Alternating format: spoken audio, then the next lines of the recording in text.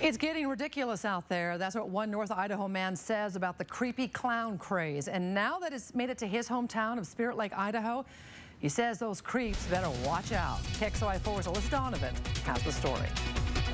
We're told Timberlake High School sent out a voice message to parents warning them about people dressed as clowns. One dad we spoke with today says this all needs to stop.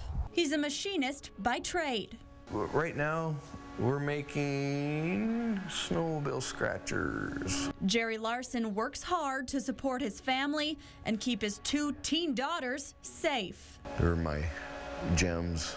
So when he received a message from their school this week, saying that somebody, a girl, was being chased by a clown around Spirit Lake. Larson decided to remind these alleged creepy clowns that Idaho recently changed the rules when it comes to guns, legalizing non permit concealed carry in July. So if these guys want to play jokes, I really wouldn't want to do it because you don't know who's packing. Larson and his wife both carry guns, and he says if someone threatens his girls, well, let's just say they probably shouldn't. We're not crazy up here in Idaho, but we do protect each other.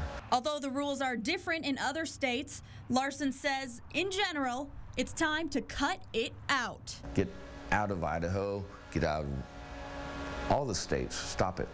Spirit Lake police say they'll be upping patrols around the school for peace of mind, but they can't verify any of the clown sightings. Reporting in North Idaho, Alyssa Donovan, KXLY 4 News.